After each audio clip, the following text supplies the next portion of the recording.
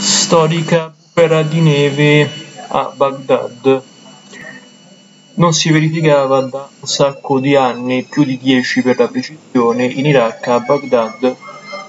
Via d'avvenimento ha creato un po' di stupore tra i residenti per una mattinata inusuale. La guerra a Baghdad è stata soltanto una guerra di neve, tra virgolette, tra persone occupate soltanto a divertirsi, a godere di quella straordinaria sorpresa a livello meteorologico.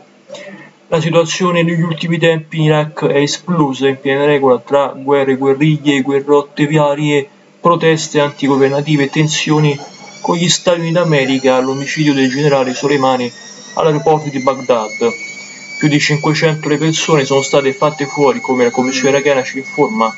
A PD la protagonista è stata proprio la neve che ha ricoperto le tende dei presidenti dei protestanti, scusatemi, in piazza Tahir, il centro del movimento antigovernativo.